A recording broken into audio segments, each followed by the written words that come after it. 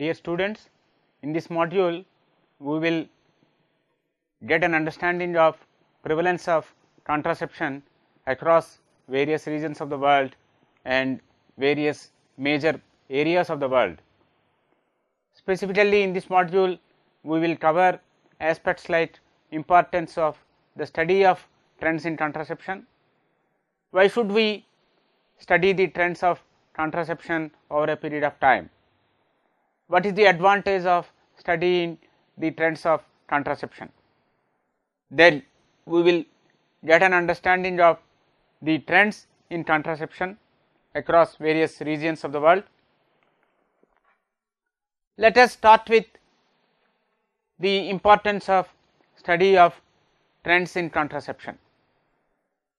The contraceptive use helps the couples as well as the individuals in realizing their basic right to decide freely and responsibly if, when and how many children they should have.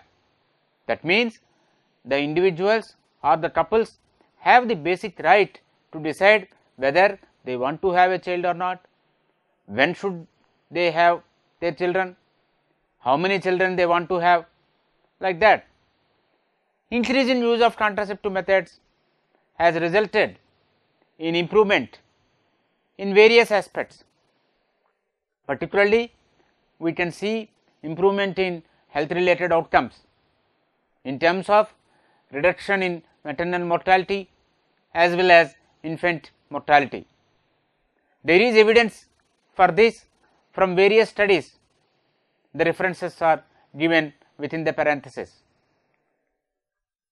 Let us continue the discussion on importance of study about the contraceptive trends. The contraceptive use also improves in schooling and economic, economic outcomes particularly with reference to the girls and women. This is again supported by evidence from research. The landmark program of action of ICPD 1994 held at Cairo recommended that all the countries seek to provide universal access to full range of safe and reliable family planning methods by 2015. The reference is from UN publication dated 1994. That means, it is mandate for all the countries to ensure provision of universal access to full range of family planning methods that are safe and reliable to the citizens of the country. ICPD specifically talks about the benchmarks for meeting the demand for family planning in its review and appraisal of the program of action 5 years later. The ICPD program of action was reviewed after 5 years of the ICPD and it clearly mentioned that benchmarks for meeting demand for family planning should be specified. In 2010, the General Assembly of the United Nations noted gaps that existed in terms of implementation of different areas of ICPD program of action. Let us now look at the goals and objectives relating to family planning. It was decided that the program should be expanded and key actions for its further implementation beyond 2014 is required so as to meet the program's goals and objectives. The MDG 5 which aims at improving maternal health brought renewed attention to the efforts towards reducing maternal deaths and ensuring universal access to reproductive health. Though the progress fell short of the target by 2015. This was indicated by the UN reports. Let us talk about FP 2020. The more recent global partnerships to expand contraceptive information, counseling and services include the FP 2020 that focuses on 69 of the world's poorest countries. The aim is that every woman, every child which has a broader strategy of accelerating improvements in health of all the women, children and adolescents by 2030.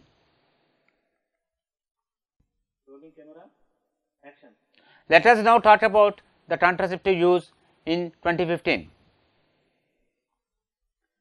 In majority of the cases and across all the regions of the world, the women have been using contraceptives. These women were married or in union. In 2015, 64 percent of the married or in union, in union women of the reproductive age across the world were using some form of contraception. The contraceptive use was observed to be lower in the least developed countries with a figure of 40 percent and it was particularly low in case of Africa with a figure of 33 percent. Among other major geographic regions, the contraceptive use was higher in 2015 with the figure ranging from 59 percent in Oceania to 75 percent in case of the northern America. With large differences by region, the prevalence in 2015 was several times higher in the North Africa and Southern Africa with figures of 53 percent and 64 percent as in the Middle Africa and the Western Africa with figures of 23 percent and 17 percent respectively. However, the contraceptive use has been increasing recently in the Eastern Africa and it stands now at a figure of 40 percent. Let us now look at the Eastern Asia. This region had the highest prevalence with a value of 82 percent of all the world regions in 2015.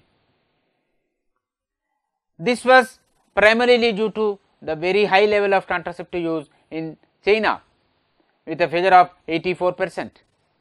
In other regions of Asia, the average prevalence was between 57 and 64 percent. That means, China contributed immensely towards much higher prevalence rate of contraception in case of the Eastern Asia. The regional contrasts are smaller in the case of Latin America and the Caribbean, though the level of contraceptive use was lower in the Caribbean at 62 percent than the Central America with a figure of 71 percent and South America which recorded a figure of 75 percent. Within Europe, the prevalence was lowest in the southern Europe with a figure of 65 percent and the highest was recorded in the northern Europe with a figure of 77 percent. In Oceania, the level of contraceptive use in Australia and New Zealand was typical of the levels in regions of Europe and in the same region the contraceptive prevalence was much lower with a figure of 39 percent in Melanesia, Micronesia and Polynesia. Now, having understood the contraceptive prevalence across the regions, now let us talk about the unmet need for family planning in 2015. At least 1 in 10 married or in union women in most of the regions of the world has an unmet need for family planning. Worldwide in 2015, 12 percent of the married or in union women were estimated to have had an unmet need for the family planning. We have seen the definition of unmet need in other modules.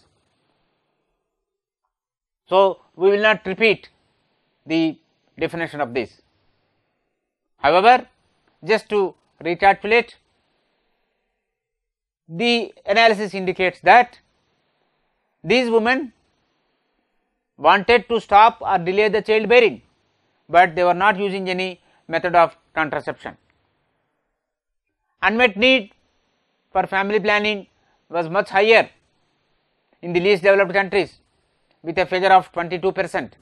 That means, 1 in 5 of the women married or in union were having unmet need for family planning. Other countries with such kind of higher unmet need are basically, from the sub-Saharan Africa, where the unmet need was highest with a figure of 24 percent. In general, the unmet need for family planning is high where the contraceptive prevalence is low. That means, we can see a negative relationship between contraceptive prevalence and unmet need. Wherever contraceptive prevalence is high, the unmet need will be low, vice versa. Unmet need in 2015 was highest, that means more than 20 percent in Eastern Africa, Middle Africa, Melanesia, Micronesia and Polynesia. On the other hand, the unmet need for family planning was lowest below 10 percent in the Eastern Asia, Northern Europe, Western Europe and Northern America. Let us now look at the contraceptive use and unmet need for family planning in Africa. Within Africa, contraceptive use as well as unmet need varies widely across the different countries of the region. Countries or areas with a contraceptive prevalence of 50 percent or more. Include mainly the islands, various islands or the areas that are located in the north of the continent along the Mediterranean Sea. And the countries in the southern Africa such as Botswana, South Africa, Namibia and Swaziland. In the eastern Africa, five countries Kenya, Malawi, Rwanda, Zambia and Zimbabwe also recorded contraceptive prevalence of 50 percent or more. In contrast, 17 countries of Africa recorded contraceptive prevalence of below 20 percent. These 17 countries include Nigeria which is a populous country and Ethiopia. Ethiopia recorded an unmet need.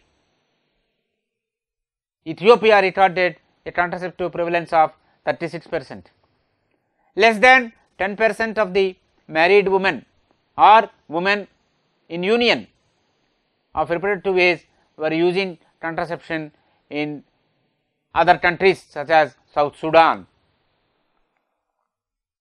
Now, let us move to the Asian region. Within Asia, highest levels of contraceptive use were observed mainly in the eastern and southeastern regions. However, the other Asian regions also include some countries with high levels of prevalence of contraception.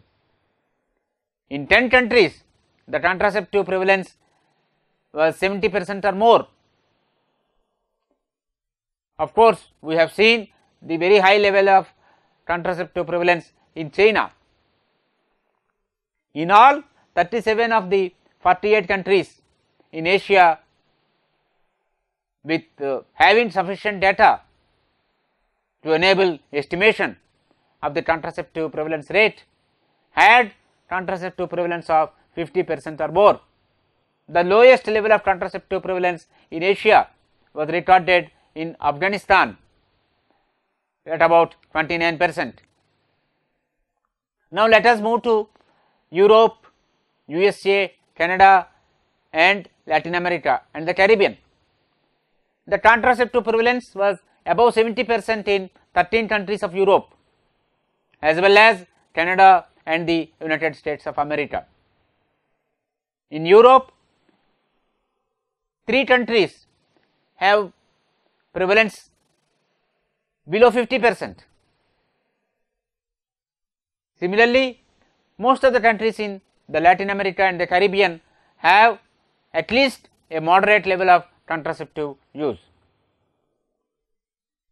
Of the 39 countries from Latin America and the Caribbean, only Guyana and Haiti had prevalence rate levels of below 50 percent and 16 countries of the region had prevalence levels of 70 percent or more with Nicaragua recording the highest level at 80 percent.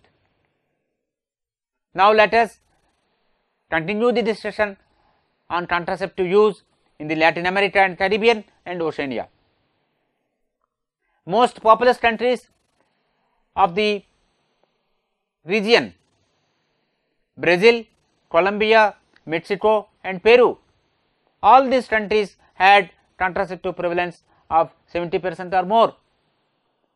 Among the 16 countries of the Oceania, Australia and New Zealand were on one extreme with very high levels of contraception at 68 percent and 71 percent. On the other hand, we have 11 countries with contraceptive prevalence of below 50 percent. Now, let us understand the situation in terms of unmet need for family planning. The percentage of married or in union women estimated to have had an unmet need for family planning in 2015 ranges from less than 10 percent in 36 countries across all the major areas to 30 percent or more in 15 countries and the countries with high levels of unmet need for family planning are concentrated in Africa.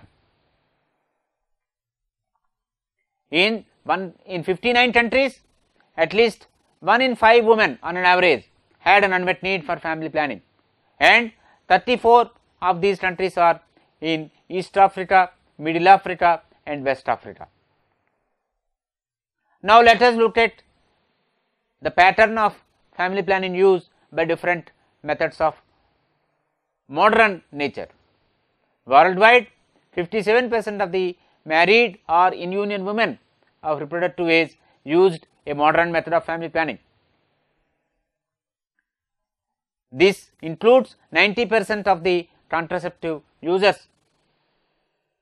Among 195 countries, modern method of contraceptive prevalence ranged from 5 percent or less in some of the countries to 80 percent or more in China and the United Kingdom. Modern methods were used by at least 3 in 4 contraceptive users in 148 countries across the regions of the world. That means 3 fourth of the contraceptive users were using any modern method. However, the modern methods constituted less than half of all the contraceptive use in 11 countries. These are mainly concentrated in the Middle Africa and Southern Europe. Now, let us talk about the use of traditional methods. Of all the traditional methods, withdrawal is the widely practiced method in the Southern Europe and a few selected countries from the Western Asia. In the Middle Africa, rhythm method is found to be more common. By contrast, in 2015, modern methods accounted for almost all contraceptive use 95 percent 95 percent or more in 45 countries substantial gaps still exist in use of modern methods among couples who want to prevent pregnancy. We also can see large gaps in proportion of total demand for family planning satisfied with modern methods in various countries, where overall contraceptive use is low or where many couples rely on traditional methods of contraception. Let us look at the total demand for family planning. The total demand for family planning is the sum of contraceptive prevalence of any method and the unmet need for family planning. 75 percent or more of the total demand for family planning was met with modern methods in 65 countries. These 65 countries include 8 countries in Africa, 9 in Asia and 25 in the Latin America and the Caribbean. Less than half of the total demand for family planning in 2015 was met with modern methods in 54 countries. Of these 34 are from Africa and 76 countries had from 50 percent to less than 75 percent of the total demand satisfied by the modern methods. This perhaps indicates substantial gap in use of modern methods among the couples who desire to prevent pregnancies. Now, let us look at the reasons for non use of family planning. Infrequent sets and concerns relating to side effects of the methods and health risks are the most common reasons for non use of family planning in countries with high levels of unmet need for family planning. The research also indicates that common reasons for non use of contraception despite a stated desire to prevent pregnancy include infrequent sexual activity. This is partly associated with labor migration and fear of health side effects. This is partly associated with narrow contraceptive options, non availability of wide choice of the methods and inadequate counseling or lack of knowledge about contraception in general. That means, these reasons are related to the program side factors such as non availability of wide choice of the methods, not having enough knowledge about various methods and absence of counseling sessions so that the women and the couples get sensitized about various methods of family planning. Information, education and counseling activities. In short, we can call them as a IEC are particularly relevant for the sub-Saharan Africa, because in these countries the contraceptive prevalence is low and unmet need for family planning is concentrated in these countries. There are evidences for this from the research studies carried out by various researchers. We have seen the trends in contraceptive prevalence as well as unmet need across various regions of the world. Now, let us look at some of the figures. Figure 1 gives the percentage distribution of the 195 countries by number of survey observations on contraceptive prevalence and unmet need for family planning available.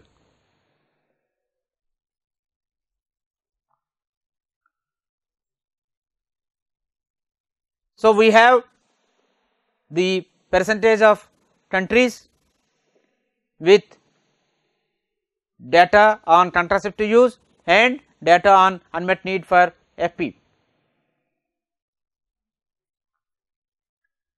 In case of the unmet need for family planning, 28 percent of the countries do not have any data at all, whereas in case of contraceptive use no country falls in this category of not having any data. That means in all the 195 countries at least one data point related data is available on contraceptive use. Whereas in case of unmet need for family planning related data 28 percent of the countries do not have any data even relating to one data point.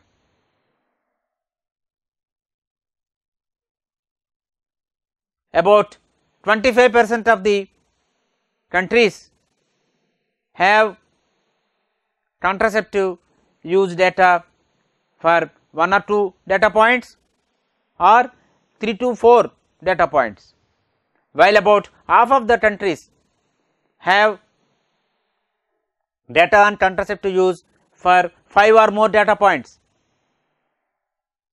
In case of the unmet need for family planning, as we just discussed, 28 percent of the countries have no data at all, while 35 percent that is about one third of the countries have data on unmet need for family planning for 1 or 2 data points, while about 18 percent each of the countries have data on unmet need for family planning for 3 to 4 data points or 5 or more data points. Let us look at figure 2. This is from the UN publication. It is a very crowded chart however. It gives the contraceptive prevalence and unmet need for family planning among married or in union women of reproductive age. The chart gives the percentages across the world 64 percent is the contraceptive use and 12 percent is the unmet need.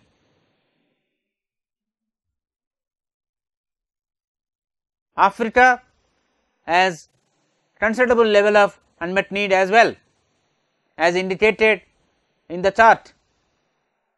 On the other hand, other regions have high level of contraceptive prevalence and low level of unmet need for family planning. This again illustrates the point relating to the association between contraceptive prevalence and unmet need. Let us now move to figure 3 that gives the percentage of women using any method of contraception among those aged 15 to 49 who are married or in union as on 2015. The method mix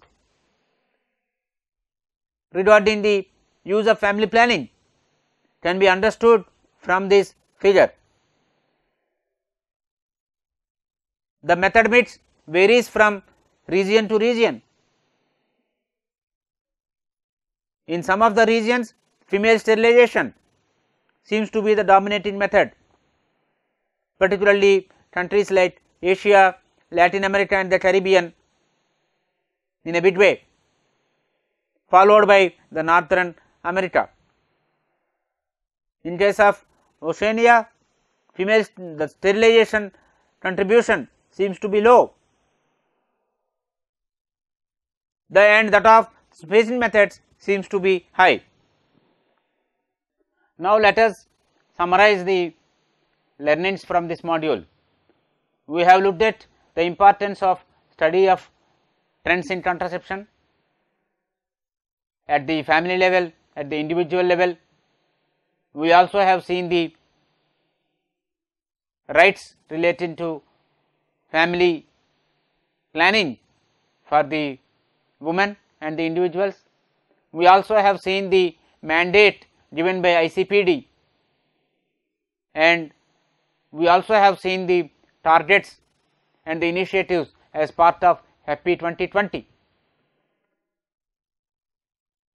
And then as regards the contraceptive prevalence, we have seen the kind of differentials that are there across the regions, across the world 64 percent of the married or in union women of reproductive ages were using some form of contraception.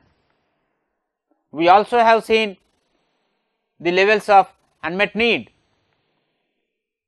particularly high levels of unmet need in some of the sub-Saharan African countries. We also have seen the contribution of modern methods to the demand for family planning. We also looked into the reasons for non-use of family planning. These essentially relate to health related concerns and program related factors such as the fear about side effects and inadequate counseling and narrow contraceptive options that are available. We also looked into the importance of information, education and counseling activities that are needed particularly in the countries with low contraceptive prevalence and high levels of unmet need. So, overall in this module we were able to look into various aspects related to contraceptive prevalence and unmet need. Thank you so much.